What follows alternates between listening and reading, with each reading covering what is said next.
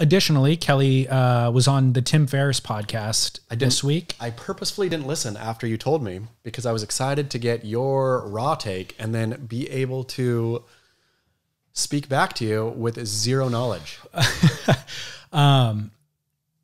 We're in a day and age where uh, where everybody wants to hate on Kelly. Sure. You're leading the charge. I'll often jump in if I find there to be uh, something hypocritical that Kelly did. Kelly's a hateable man. I listened to this podcast, Liked him. fell back in love. You're a Kelly fan. Childhood love and maybe even lust with Kelly. Tell me, tell me, tell me about the things, the points. Well, in all of the ways that Peter Schroff cannot express himself in this podcast medium, Kelly can. Sure. And I think, um, so I think Kelly has made hip, is hypocritical in all the ways that we've discussed in the recent years, right? Aggressively hypocritical, angrily hypocritical, lashing out at others for even daring to mention the hypocrisy. Not willing to go along with the joke, not even willing to accept that they're okay, I get it. I get it. I I live a do as I say, not as I do kind of life. and I think that that is reflective of human beings are complex and they make like look dealing with a certain amount of fame talent wealth all comes with a lot of peril and you're going to make mistakes along the way and so what i got out of this interview was him not directly fessing up to those mistakes but really kind of confronting them in a lot of ways and Did he talk about being a father? barely See, that's the weird one for me. Well, it wasn't directly discussed. It wasn't directly asked of him, but family dynamic did come up and he did um reveal probably more than he intended to about it, talking about how he basically had unhealthy survival skills when he was growing up that he learned um, to kind of help buffer his mother from his father's alcoholism. And because Kelly had, Kelly was a middle child, and because he had this talent that was very unique and a lot of attention because of it, um, he ended up becoming kind of this moderator or mediator in the family.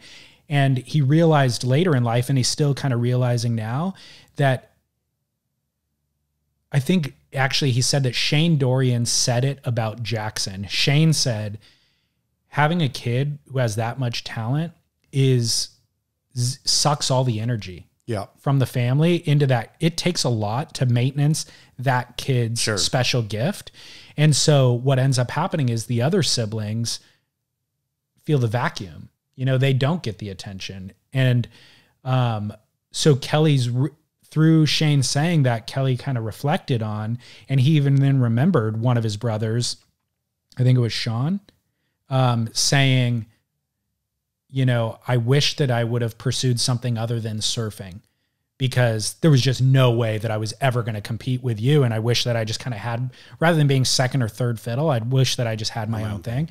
And so Kelly, that kind of resonated with Kelly, or he remembered him saying that from previously, and it resonated because of what Shane said. And so Kelly, he said, as he was kind of working his way through all of these thoughts, he said, you know, I haven't even fully had these discussions with my family yet. So maybe I shouldn't be discussing it here publicly. Just that level of um uh confronting your own kind of things made me sympathetic towards Kelly. The real quick for context. Yeah. Uh, I have no idea who Tim Ferriss is. Is he, is he a comedian? No. He's a what?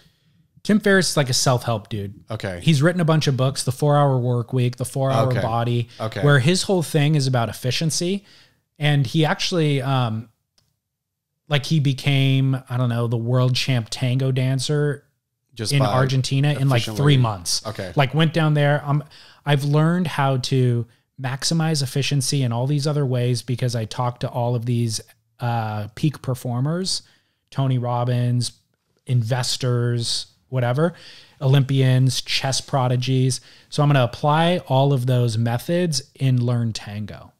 He went down and he learned surfing in Costa Rica. He, he brought Brad Gerlach down and as a coach and was going to learn surfing in two weeks. Does he surf well? No, but my buddy Tony Roberts, photographer Tony Roberts, um, was hired on as the guy to document all of it. And he said in two weeks, Tim got better at surfing than he's ever seen anybody in two weeks, and arguably better than people get in two or three years. Wow.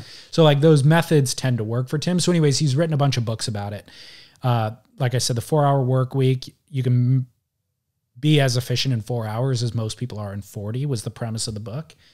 And um, so now he interviews whatever peak performers. That's kind of the purpose of the podcast. Okay. So he asks the exact same questions essentially to everybody. Everybody, like I said, from Tony Robbins to Ray Dalio for Are investing. they are they interesting questions? yeah, yeah, they're good. And interestingly, Kelly, it ends up revealing. I don't think he's that. To be honest, I don't think Tim Ferriss is that um attuned to the person. He's just kind of asking this formulaic thing, but it ends up getting out of the person a bunch of really interesting things. And I think that Kelly probably follows Tim and admires Tim, so Kelly's willing to kind of give him what he wants. Um, but that whole family dynamic thing, I really, again, I sympathized with Kelly because of it. Um, he talked about Andy Irons being the first competitor who ever like got in his face hmm basically everybody just bowed down everybody first of all stepped aside for kelly and or laid down for kelly for a lot of those world titles whatever it would have been the first eight probably there wasn't any legitimate competitor Until Andy. and then andy came in and andy was brash and in his face and basically like saying to kelly i want to kill you Yeah. I'm going to take what's mine and F you. And Kelly had never been confronted with that level of confrontation through his amateur rank years, through professional years. And so he never, he didn't know how to respond to it. The, con- the direct confrontation. And he was going through a bunch of other stuff at the time. He talked about being in an unhealthy relationship where the night before the Pipe Masters, where it was down to him and Andy, his girlfriend was like on the phone fighting with his mom. Like that's how unhealthy the relationship was. Imagine your girlfriend fighting with your own mom. I know, but I don't want to hear that, Kelly. It, fe- feels like an excuse right there. It's what it does, Uh, David it- Lee. no. Feels like an excuse. I don't think it was an excuse at all. It was all built into this greater context. Feels of- like a passive aggressive. This is why. I mean, I totally lost fair and square. Just the backstory. I was going through a lot of stuff, et cetera, et cetera. You should be a man and keep that stuff locked down, Kelly Slater. I think it's manly to accept that you know that he had made decisions in his life like he was using Andy as actually he was thanking Andy saying Andy forced me to confront all of these things that I hadn't actually confronted. I was living in this unhealthy relationship. I had these unhealthy relationships in my family. I was paying for all my family stuff. Like, and through this confrontation, and that's by the way, the resolution was Andy made me be a better competitor. And he talked about um, Rickson Gracie, who he had admired and developed a relationship with, had said, Hey, Kelly, quit while you're on top. You have eight world titles, quit while you're on top. And then through confronting Andy and then kind of getting over it and becoming a better competitor due to Andy, he then got three more world titles. And he then told Rickson, like, Hey, remember when you told me to quit? Well, now I've got 11 instead of eight. Sweet. You're, you're wrong. Sweet. You know? Uh, the problem is, though, I'm going to go back to it. Andy was dealing with all kinds of stuff too, right? I mean, I guess Kelly didn't take. I guess Kelly didn't even insinuate that his personal problems are what led him to lose to Andy Irons. Not at all. Okay. Not at all. Okay. he was acknowledging that he had a bunch of personal problems that made him a um a feeble competitor like a feeble-minded kind of there was a hole in his game that Andy identified and capitalized on. Do you think peak Andy versus peak Kelly, mentally, physically, emotionally, who do you take?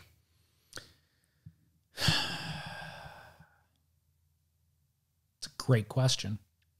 I mean, we could argue that we witnessed it and Andy came out on top, Obviously, but that's what but have to argue. but no, but you said Yeah, peak, peak, peak. peak emotionally. Yep. And I think Kelly hit a peak emotionally after that, which was when Andy was hitting a slum. You know, Andy fell off tour Sure. ultimately and had to work. And so Kelly was winning during those years. And so I, I would put my money on Kelly. Clearly, Kelly has 11 world titles for a reason. I'm going to put my money on Andy. I'm going to say peak on peak, Andy's the better surfer. It's really hard because you also have to view the, we have the benefit of hindsight. And so Kelly, Andy's rawness was almost in response to Kelly's Polish. polish, totally. And it's hard to take context out of it and just go this versus that. Of it's course it like is. saying Well, I mean, Jordan versus Kobe. and know? it's and it's there's judging and all that too but uh, totally and who who which style appeals to which person obviously surfing is a completely subjective game there's no way to say one is better than the other yeah. but yeah and so i guess subjectively Well,